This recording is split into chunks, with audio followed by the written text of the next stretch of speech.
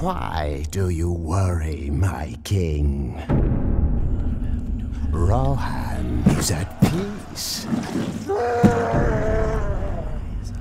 Your kingdom flourishes.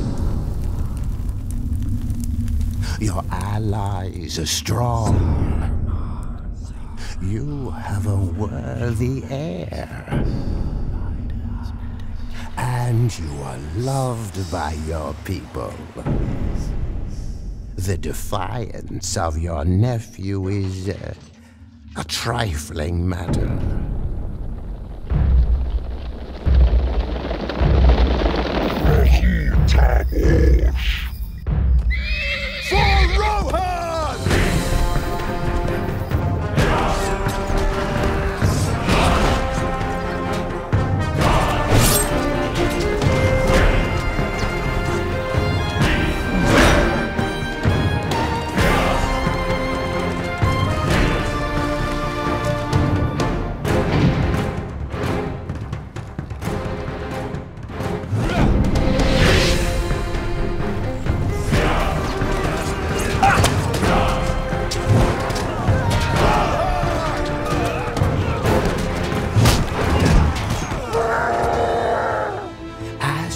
Can see, I have everything under control.